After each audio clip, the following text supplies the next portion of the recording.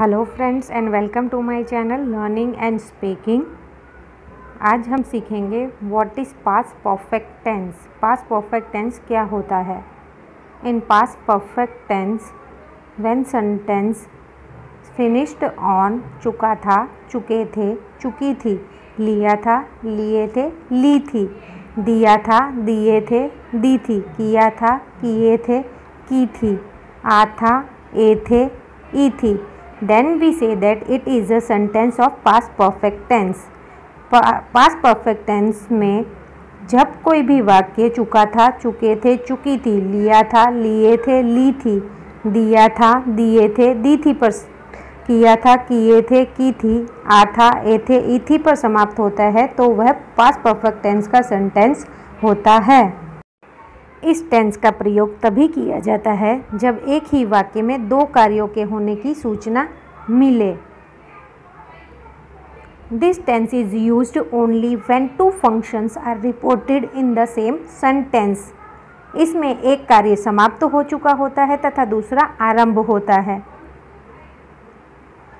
In this sentence one work has finished and other has started जो कार्य समाप्त हो उसमें पास परफेक्ट टेंस का प्रयोग करते हैं तथा जो कार्य आरंभ हुआ है उसमें सदा पास्ट इंडेफिनिट टेंस लगाया जाता है। The past perfect tense is use in the task that ends and always past indefinite tense is applied in the work that has started for example मेरे आने से पहले वह घर से जा चुका था। He had left his house before I came इसमें घर से जा चुकने का कार्य समाप्त तो हो चुका है और मेरे आने का कार्य शुरू हुआ है। इसलिए आ चुकने के लिए हैड लेफ़्ट वर्ब की फ़र्स्ट फॉर्म जो कि है और आने के लिए केम जो कि वर्ड की वर्ब की थर्ड फॉर्म है का प्रयोग हुआ है।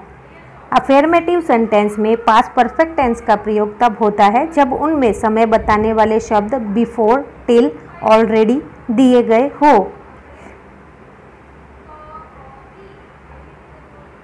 Past perfect tense used in affirmative sentence when they have been given the words before till already for example उसने तब तक कुछ नहीं खाया था।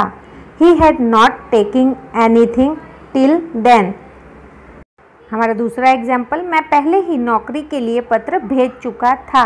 He had already applied for the job साधारण वाक्य में जहाँ ऑलरेडी बिफोर टिल आदि शब्द ना हो तो उन वाक्यों को पास इंडेफिनेट टेंस में लिखा जाएगा। पास परफेक्ट टेंस में नहीं। In affirmative sentence where there are no words like already till before then those sentence will be written in past indefinite tense not in past perfect tense. For example, वह कल शिमला गया था. He went to Shimla yesterday. This sentence is a past indefinite tense sentence. He had gone to Shimla yesterday. this sentence is a past perfect tense sentence but this is wrong sentence. In this tense we used had plus verb third form as a helping verb with singular he, she, it name and plural I, we, you, they. Now affirmative sentence.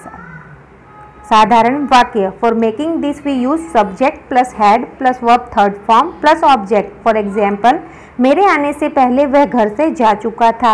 He had left his house before I came इसमें he अर्थात वह हमारा subject है, चुका था के लिए had का प्रयोग किया गया है।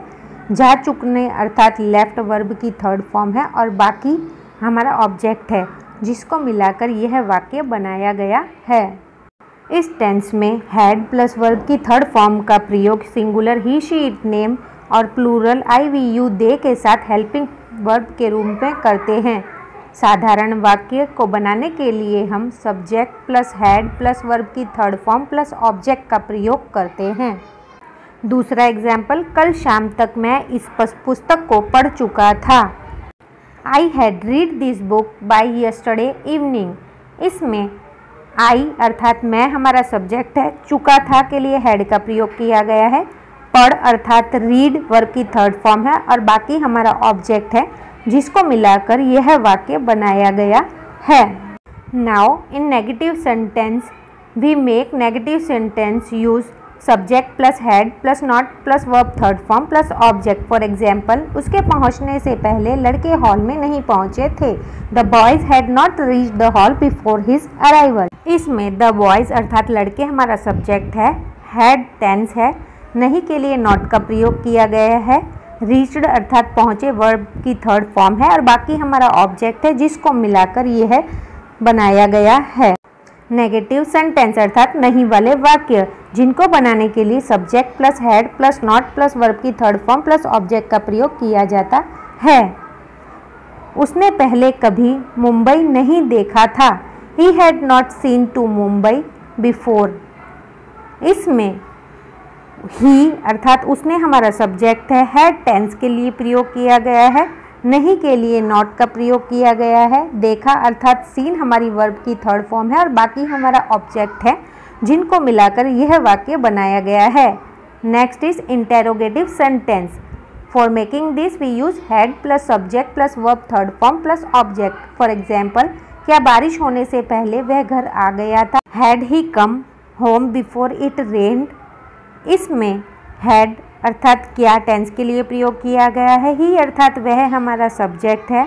आने के लिए कम का प्रयोग किया गया है, जो कि वर्ब की थर्ड फॉर्म है, और बाकी हमारा ऑब्जेक्ट है, जिसको मिलाकर यह वाक्य बनाया गया है। नेक्स्ट एग्ज़ाम्पल इज़ क्या मोहन के आने से पहले आप नाश्ता कर चुके थे? Had you taken your breakfast before mom come.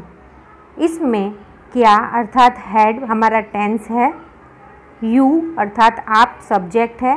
कर अर्थात टेकन वर्ब की थर्ड फॉर्म है और बाकी हमारा ऑब्जेक्ट है जिसको मिलाकर यह वाक्य बनाया गया है।